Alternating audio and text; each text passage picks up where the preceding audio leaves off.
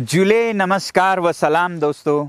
आप सबने सुना होगा कि लद्दाख के इन सीमाओं से चीन और भारत की सेनाएँ पीछे हटाई जा रही हैं, यानी कि डिसंगेजमेंट हो रहा है, जो कि बहुत ही अच्छी बात है दोनों देशों के लिए और तमाम दुनिया के लिए।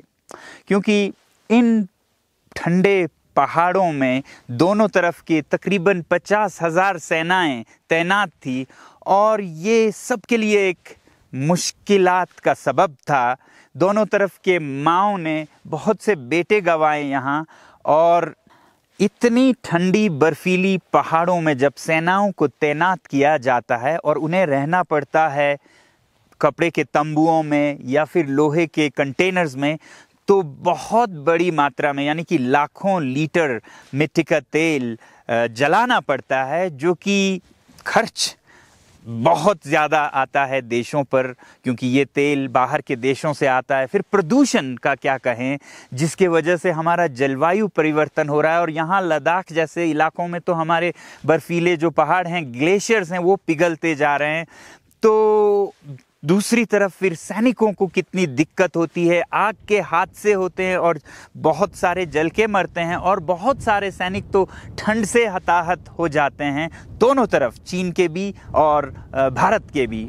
तो इन हालातों को देखते हुए हम जहाँ आज हैं, Himalayan institute of alternatives, Ladakh, यानी कि हयाल एक वैकल्पिक यूनिवर्सिटी है, जहाँ पर हम शोध करते हैं पहाड़ों में कैसे जीवन जिया जाए और यहाँ के जो स्रोत साधन हैं, उनका इस्तेमाल करके जीवन को आसान कैसे बनाया जाए। तो इसी सिलसिले में हमने सोचा कि जब हमारे सैनिक इतने मुश्किलात में हैं सीमा पर तो उनके लिए भी एक सोलर हीटेड शेल्टर क्यों ना बनाया जाए? क्योंकि आपने सुना होगा, यहाँ हमने सोलर हीटेड घरों को बनाने में काफ़ी महारत हासिल की पिछले कोई 25-30 सालों में।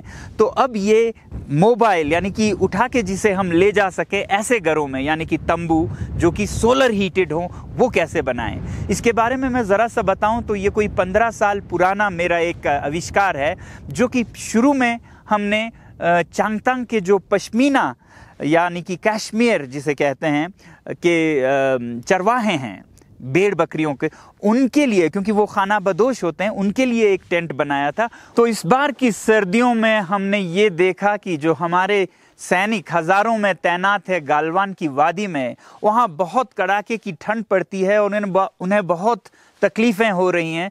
तो हमने इस यूनिवर्सिटी में एक प्रोजेक्ट पे काम करना शुरू किया और प्रोजेक्ट था एक ऐसा तंबू। पैसिव सोलर हीटेड टेंट बनाने का, जिसमें कि हमारे सैनिक आराम से रह सकें और गर्मी सूरज से हो और न तेल का खर्चा, न धुआँ हो।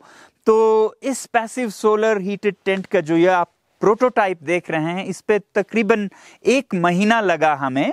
तो ये सोलर टेंट अंदर से कैसा है और काम कैसे करता है, उसे देखने जाने से पहले मैं आपको ज़रा सा बताऊँ कि ये कैसे बना हुआ है। इस टेंट के दो हिस्से हैं। एक आगे का हिस्सा, जो कि ग्रीन हाउस हिस्सा है, जहाँ से सूरज की गर्मी जाती है, और जो पीछे का हिस्सा है, वो स्लीपिंग चैम्बर है, जहाँ की सैनिक रात को सोते हैं। और ये बहुत हाईली इंसुलेटेड हैं, बहुत जैसे रज़ाई होता है, उस तरह का स्लीपिंग बैग की तरह है, और इस पर विंड शीटर वाटरप्रूफ कवर लगा हुआ है। और फिर ये जो आगे का हिस्सा है, जो ग्रीन हाउस है, इससे हम अंदर जाते हैं।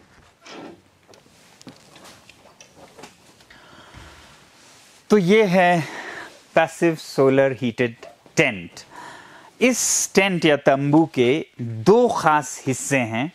एक जो कि स्लीपिंग चैम्बर है, एक सोलर लाउंज यानी कि शयन कक्ष और विश्राम कक्ष।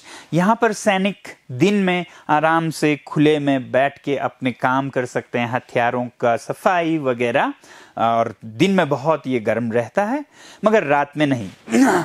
और फिर रात में ये कक्ष, जो इसका उत्तर का हिस्सा है, वो गर्म होके गर्म रहता है तो वो यहाँ उनका सोने का हिस्सा है। अब ये पूरा टेंट कैसे गर्म रहता है, इसके तीन तरीके हैं। एक है कि दक्षिण दिशा से सूरज की किरणें आए, जैसे इधर आ रही हैं, वैसे ही ये जो दीवार है, ये इसका दूसरा हिस्सा है। पहला हिस्सा दक्षिण से धूप आए, दूसरा हिस्सा वो धूप इस दीवार में, जो ये शयन कक्ष की दीवार देख रहे हैं, वो एक हीट बैंक है। इसमें वो गर्मी जमा होकर रहे ताकि वो रात को उपलब्ध हो, जबकि गर्मी की सबसे ज़्यादा ज़रूरत हो। तो दिन की गर्मी रात तक इस दीवार में कैद रहे या जमा रहे, संचित रहे, ये इस दीवार में हम पानी का प्रयोग करते हैं और भी कुछ मटेरियल्स का। और इसको पॉलीकार्बोनेट के पारदर्शी परतों से ढका गया है, जिसमें से धूप जा सकती है, मगर गर्मी वापस ना आए। तो इधर फिर खिड़कियाँ हैं, यहाँ एक दरवाज़ा है, और फिर उसकी दूसरी तरफ़ हम शयन कक्ष में स्लीपिंग चैम्बर में जाएँगे तो तीसरा हिस्सा है इंसुलेटेड कक्ष। तीन हिस्से हुए, दक्षिण से धूप का आना, इस दीवार में वो जमा होके रहना और फिर रात को ये गर्मी बाहर ना चली जाए, उसके लिए एक इंसुलेटेड चैम्बर जहाँ से गर्मी बाहर ना जाए। तो आइए हम शयन कक्ष, यानी कि जो स्लीपिंग चैम्बर है, उसमें जाएँ।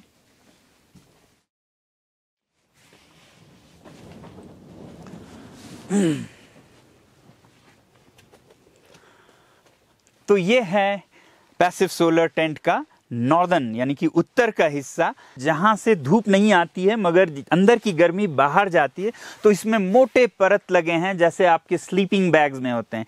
ये चार तक परत हैं, जो कि हम जिस जगह पे हैं, कितनी ठंडी है, उस हिसाब से एक परत लगा सकें, दो परत लगा सकें, तीन या चार लगाएँ।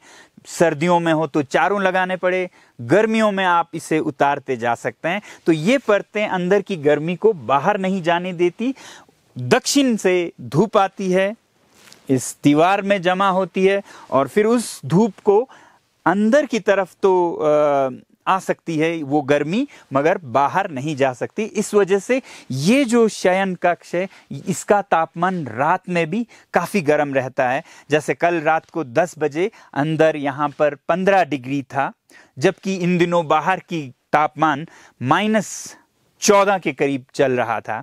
तो इस हिसाब से हमारा अनुमान है कि ये अंदर प्लस 10 से 15 के बीच रहे। बहुत गर्म भी न रहे, क्योंकि सैनिकों को तैयार रहना है बाहर माइनस तीस में लड़ने के लिए। तो प्लस 10 से 15 तक अगर रहे तो बहुत अच्छी बात है। इस टेंट में दक्षिण की धूप और बीच के ये दीवार में हीट बैंक और फिर उत्तर के इंसुलेशन के अलावा ये जो आकार है, जो कि गोलाकार है, जिसके वजह से इस तंबू का सरफेस एरिया, क्षेत्रफल कम से कम होता है, ये एक ज्योमेट्री का हिसाब है। इसके वजह से भी गर्मी बाहर को कम ज़ाया होती है तो इस वजह से अंदर गर्मी बनी रहती है। तो अभी बाहर धूप जा चुकी थी और आपने देखा बहुत ठंडी हवाएँ चल रही थी, मगर अंदर बिल्कुल शांत है और तापमान मैं देख रहा हूँ उन्नीस दशमलव छ है। ये तो खैर अभी अभी धूप डली है, मगर देखना रात को है कि रात को जब 9-10 बजे हो तो तब अच्छा तापमान हो। इस सोलर टेंट के डिज़ाइन में हमने ये ध्यान में रखा कि इसे पोर्टेबल रखना चाहिए ताकि ये कहीं भी ले जाया जा सके और ऊँचे पहाड़ों में, खासकर जो रेजांगला और ब्लैक टॉप हिल, उनको नज़र में रख के या फिर सियाचन ग्लेशियर, उनको नज़र में रख के बनाया गया है। और इसको जब हम खोलते हैं तो ये कोई 30 से 40 हिस्सों में बट जाता है और हर हिस्से के वज़न 30 किलो से ज़्यादा नहीं होनी चाहिए, ताकि उसे उठा के ले जाया भी जा सके। और इसका एक ज़रा महँगा वर्जन होगा, जो कि एल्यूमिनियम का होगा। उसमें तो लगभग 20 किलो से ज़्यादा कोई भी हिस्सा नहीं होगा। इसका डिज़ाइन हमने सेना के साथ निकट समन्वय रखते हुए, उनकी ज़रूरतों को समझते हुए किया है और सेना ने हमें बहुत सहयोग इसमें दिया है। अब अगर हम इसकी कीमत के बारे में बात करें तो ये टेंट आगे चलकर भी और अभी भी तकरीबन पाँच लाख रुपए में बन के आता है। मगर इसके विकल्पों के साथ अगर तुलना करें हम तो विकल्प हैं लोहे के कंटेनर्स उनमें एक तरफ़ तो हीटिंग की कोई व्यवस्था नहीं होती है, दूसरी तरफ़ उनका क्षेत्रफल एरिया जो है इसके आधे से भी कम होता है और उनका कीमत लगभग सेना को 9 से 10 लाख रुपए पड़ जाते हैं। तो ये आधे कीमत में दुगना क्षेत्रफल देती हैं। फिर दूसरा विकल्प है कपड़े के तंबू। वो तो सस्ते होंगे, मगर बहुत ही ठंडे भी होंगे। इसी प्रोजेक्ट को अगर एक सरकारी लैब में एक रिसर्च प्रोजेक्ट की तरह किया गया होता तो शायद आधे से एक करोड़ तक लग जाता।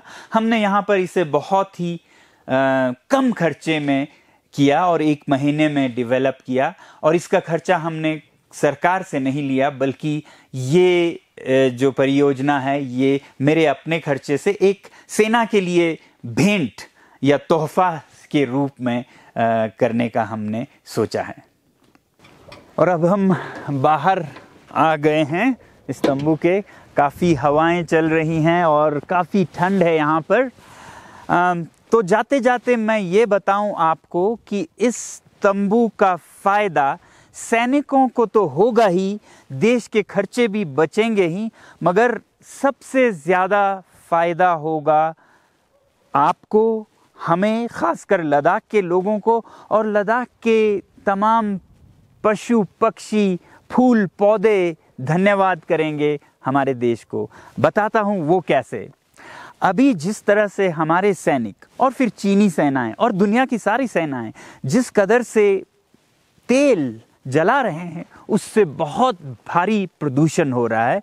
भारतीय सेना ही लद्दाख में सालाना एक लाख किलो लीटर का प्रयोग करती है ईंधन का, जिससे कि तकरीबन तीन लाख टन कार्बन डाइऑक्साइड हवा में जाता है, जिससे कि जलवायु परिवर्तन होता है, जिससे कि आप दिल्ली में महसूस करते हैं और समुद्र तल पर। और हम लद्दाख में ग्लेशियर्स का पिघलना, तमाम सिस्टम्स का बिगड़ना देख रहे हैं।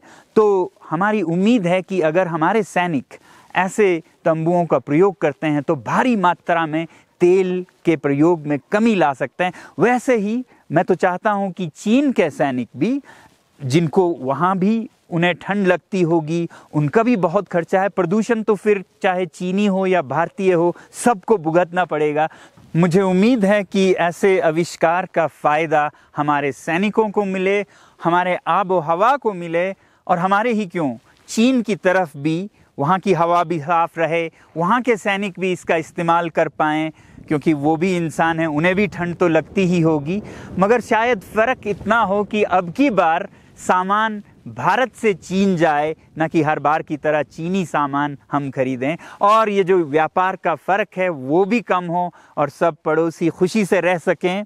आपको कैसे लगे ये विचार? ज़रूर लिखिएगा, अपना ख्याल रखिएगा, और हम लद्दाख के इन पहाड़ों से आपको बेचते हैं बहुत सारा प्यार और झूले। नमस्कार सलाम व धन्यवाद।